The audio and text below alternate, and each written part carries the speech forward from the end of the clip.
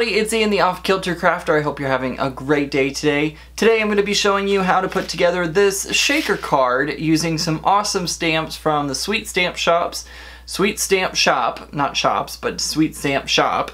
I got this stamp set from Liz Ho over at The Hug Life and I could not wait to use these and I knew exactly what I wanted to do with them whenever I got that stamp set. Lots of fun to create a really awesome shaker card and let's face it, who doesn't love to open the mail and receive a shaker card because even through the envelope you know it's a shaker card. So let's go ahead and start putting this one together. You will notice a couple of times though it tries to fight me. This card seems like it did not want to be created and I was having some difficulty with it. So pardon the interruptions and rather finicky supplies, but let's go ahead and check out how I put it together.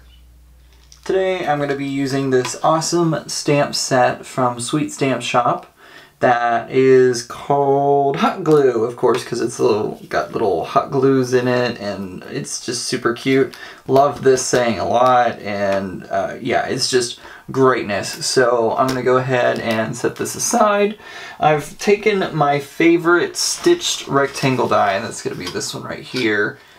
I've gone ahead and uh, used some post-it note tape to stick these two together so that way they are nice and stuck um, and I can just put pick them up and put them back down again and I don't have to align them again and it's a good way to just keep them together. You can also do that with washi tape. So next thing that I'm going to be doing is I'm going to take my Cuttlebug here and I'm going to use this awesome paper. I believe this is, yes, it is close to my heart paper. Uh, no, it's Lawn Fawn paper, my bad. It is Lawn Fawn paper. And I'm going to, I don't even know bell bottoms is the type, I don't know. Anyways, I'm just gonna stick this right onto my Cuttlebug here. And I'm gonna go ahead and send this through my Cuttlebug. So we have this nice little stitched rectangle now that I can use on another project. But what I really want from this project is, if I can get it undone, oh, it didn't cut all the way through. What the hell? Alright, so it didn't, unfortunately, the die didn't cut all the way through. Alright, since it didn't cut all the way through, I'm going to have to take my X-Acto knife and just give it a little help to cut the rest of this rectangle out. See guys, doesn't always work the way you want it to. Alright, there we go. Alright, now we got it out and, oh, I just broke my X-Acto knife. this is not turning out so good. Okay, finally got my frame. It's ready to go. So I'm going to set this off to the side. Next thing I'm going to be cutting is this piece of fun foam. It is going to be what helps to give a little bit of room for our shaker bits to shake around in. So I'm going to go ahead and cut a piece of this fun foam out and send it through the Cuttlebug. Alright, so I'm to put this through. Now it's to squish down my fun foam a lot, but that's okay because give it a little bit of time, it'll pop back up exactly as it was before. So then I got that done, I'm to go ahead and break apart my dies so that way I can get the last piece, which is the acetate piece. I don't want the smaller one to cut away at the window, so I'm just going to cut a larger one. The larger piece of acetate will be hidden by the frame. So fun fact, you can't actually make it through the acetate with your stitched rectangle die. So that's good to know for future reference. So something tells me this project is gonna fight me a little bit. So since that piece didn't want to die cut nicely, I'm going to take my X-Acto knife and run the X-Acto knife over it. Alright, so got the acetate cut out and my X-Acto knife keeps trying to fall apart. Alright, so now I have my three different pieces. Basically what's going to happen is I'm going to put this down like so, right on top of our foam piece, and then this little um, border piece will help hide everything so that it doesn't look ugly and disgusting. So what I'm going to go ahead and do now is I'm going to go ahead and glue down my little frame piece since that's going to be the bottom.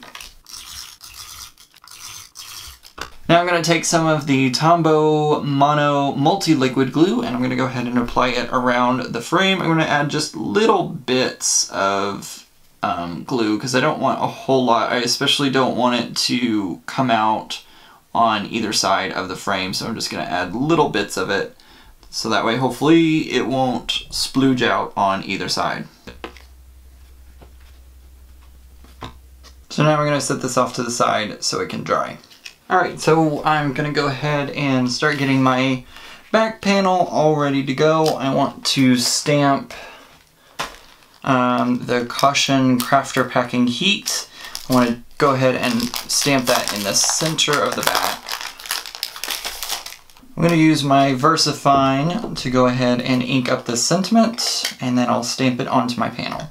Now I'm going to use some of these uh, sequin stamps. I really love how different sizes, and they have the outlines, and then the insides. I love it. So I'm going to go ahead and start with, I don't know what I want to do first. I don't think I want this many colors. I think I just want a few colors. I think I'm going to make it pomegranate, Indian blue, and pear. Yeah, that looks like a good combination of colors. I'm going to go ahead and put the rest of these up and then stamp these out.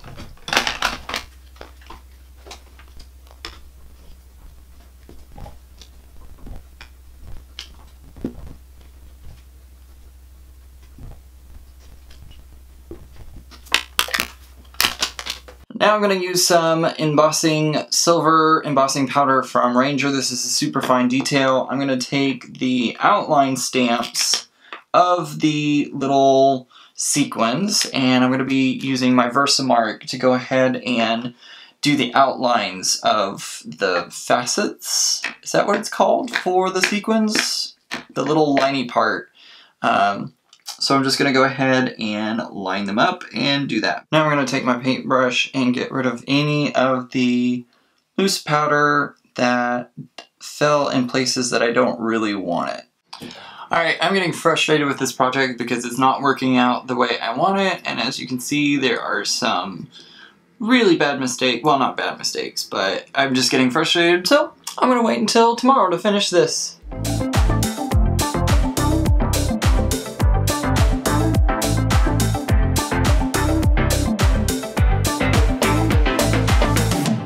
So it is a brand new day.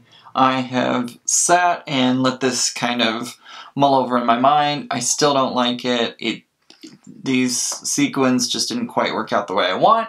So I'm going to go ahead and set this off to the side and we're going to go ahead and start again with this stamp set. It's no, not a big deal, just sometimes it's better to start over and try again. So I'm going to go ahead and re-ink up the sentiment for this card. I'm going to grab my VersaFine ink and we'll go ahead and get started on creating this stamp. We're going ahead and creating the inside of our shaker again.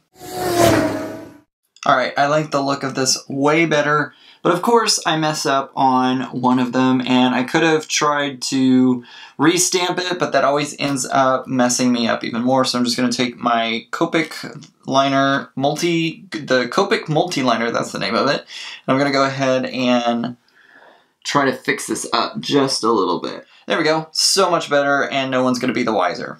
Alright, so I've got all the stamping done that I wanted to do on this. Uh, I went ahead and fast forwarded through the stamping of the sequins because I knew my head was going to get in the way way too much, so I skipped all of that, and I'm just going to go ahead now and continue on. I'm going to dry everything very quickly with my heat tool to make sure it's all nice and dry before I move on to the next step. Alrighty, that should be all nice and good to go. I am going to add some Wink of Stella. I want my sequins to be nice and shiny, so I'm going to go ahead and grab my Wink of Stella pin. And I'm going to go ahead and get it started. I haven't used this one in a while, so I need to get it restarted again before I actually start using it. I'm gonna gently squeeze to try and get a little more of that shimmer coming out. All right, so now that I have that going, I'm gonna go ahead and use it on the sequins to add a little more shine to them. I don't know if you're going to be able to see any of that glittery goodness, but it is now all nice and glittery. So next up we're going to do is we're going to go ahead and lay the front part of our shaker window down. It's going to end up going just like that. And I think, oh, that's gonna look really, really nice. Can't wait for that. All right, so I'm gonna go ahead and set that down right there. I have some sequins here. These are from Walmart, of all places. Uh, these are Horizon Group USA sequins. Uh, can you get a more generic name? Anyways, all right, we're gonna go ahead and sprinkle these into the shaker window. All right, I have all my sequins in there. Now, all I have to do is add the back on just like that. So I'm gonna grab, I'm gonna use my multi-medium matte and I just recently got the really nice uh, fine applicator needle tool thing. So I'm gonna go, let me make sure. I got the sequins in there, yes. Okay, all right, I think I'm gonna go, I'm gonna go ahead and close it up, squeezing some, maybe, maybe if my multi-medium has enough in to help me, there we go. Squeeze, squeeze, squeeze, squeeze.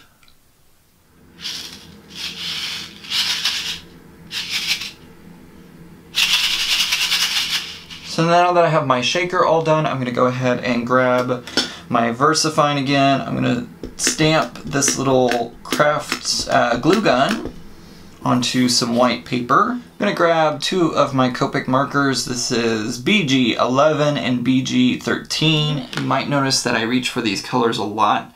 That is because they're the ones that I have the most consecutive colors of, I guess. Basically, I went to a workshop on Copics and received three Copics that are in the same family together. So I tend to use those the most because they're the easiest to blend for me. I don't really have any other blending colors per se. So I'm going to go ahead and just color this in using the BG11 and BG13. I'm also going to use a, I think this is a Shinhan Art marker. This is from Close to My Heart. Uh, this one is WG7. I'm just going to add a small little bit of it right up here to the tip. Now I'm to go ahead and fussy cut out my little hot glue gun. Alright, there are people all across YouTube land who are much better at fussy cutting than I am, obviously, but it gets the job done for what I need, so that's fine by me. I'm going to go ahead and use some glossy accents because my multi-medium matte is run out at this point. So I'm just going to add a little bit of glossy accents onto the back. Glossy accents actually works as a great adhesive. It is super strong and works really, really well. And especially since I have the fine uh, tip applicator, really helps get all of that gluey goodness into the places that I need. Gonna go ahead and score this card at four and a quarter by five and a half. Well, that's how big I want the front panel to be. So uh, I'm gonna go ahead and score it here at five and a half. I'm gonna take some of my Tombow Extreme Adhesive and add this to the front panel of my card because it's gonna fit on just like that. There we go guys, it is done after fighting me and not working the way I wanted it to finally have a card that I love. So even though I had some trouble putting this card together, I think it came out great and I really can't wait for the recipient to get it. I think I know who I'm going to be sending this one to and I really hope that they enjoy the card as much as I enjoy putting it well. Besides having to come back to it another day, I really did enjoy putting this card together. Don't forget guys, if you liked today's video, give it a thumbs up. That lets YouTube know that you liked my video, and then we'll share it across YouTube land. Also, don't forget you can check me out on social media. You can check me out over on Twitter, Facebook, Instagram, everywhere. Periscope. I keep forgetting Periscope. Make sure to go check those out. And if you like today's video, you can also subscribe. Subscribe to my YouTube channel and get great updates every time I post a new video. Otherwise, guys, I will see you next time. And remember, keep it off kilter. Bye!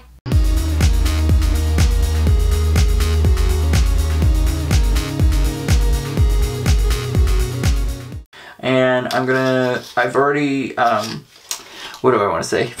I want. now I'm gonna take some Tombow Multi Mono Moni Mooney Mono. now I'm gonna take some. Oh my gosh.